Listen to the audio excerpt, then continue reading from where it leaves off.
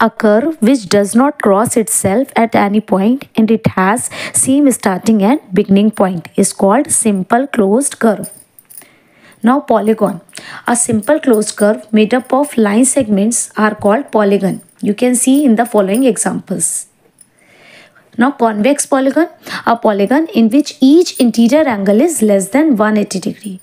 Concave polygon, a polygon in which at least one interior angle is greater than 180 degree. Now types of polygon. If a polygon has three sides, then it is called triangle. If it has four sides, then it is called quadrilateral. If five sides, then pentagon. If six sides, then hexagon.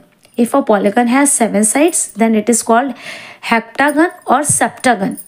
Eight sides, then octagon and 9 sides then nonagon or 10 sides then it is called decagon.